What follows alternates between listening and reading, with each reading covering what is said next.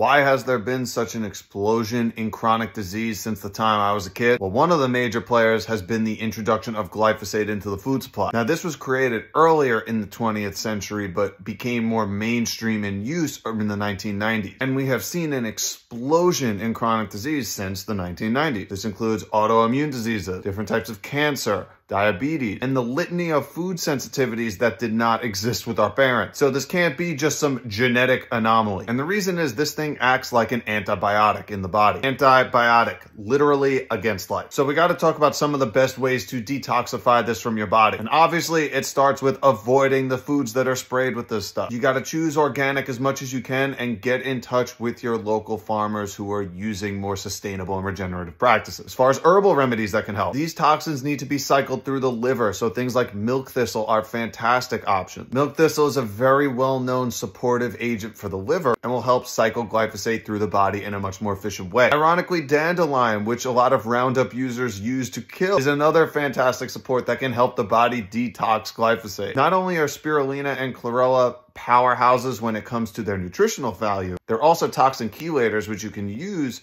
to then eliminate from the body more effectively. But my favorites are fulvic and humic acid. Not only do these help maintain a healthy gut microbiome and build a terrain for a healthy immune system, they can also soak up toxins like glyphosate so you can eliminate them effectively. Like I said, we're at a point now where only 1% of our soil is deemed nutrient dense and it starts by choosing better options and voting with our dollars.